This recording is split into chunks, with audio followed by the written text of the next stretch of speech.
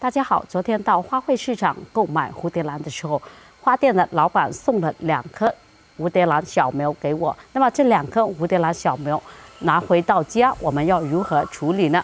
首先呢，我们当然不能直接给它栽种。因为呢，要给它缓苗，适应新的一个环境。我们缓苗呢，不是直接的把它放在一处地方给它缓苗，主要呢就是把它放在无菌而保湿的环境给它缓苗，这样呢才能让它适应新的一个环境更加快。如果我们直接给它栽种的话，还没有适应新的环境。很容易出现死亡的状态。那么我们要如何给它处理呢？首先呢，我们先准备好一个容器。那么这个容器呢，一定要经过杀菌之后，我们再给它使用。像这种蝴蝶兰小苗最害怕的就是细菌，一旦感染细菌的话，这些叶片出现发黄、萎蔫，根系呢也容易出现腐烂的现象。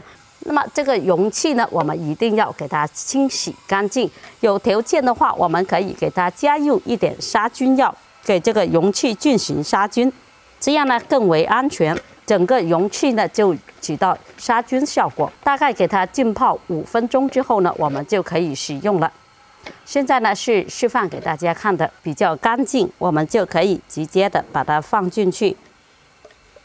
放的时候呢，也要小心一点，不要把它弄伤了。就这样子，然后呢，就给它盖上盖子。我们盖这个盖子的时候，不要给它盖得那么紧，给它留一点点空隙，让它通风一下，不能让它处于太闷的环境。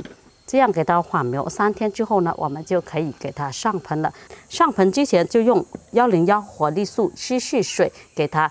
浸泡二十分钟左右，主要的目的呢就是激活脊柱细胞，能够让它快速的恢复生长，而且呢又可以提高抗性还有抗病能力。好了，这就是今天跟大家分享蝴蝶兰到这里，我们下期再见。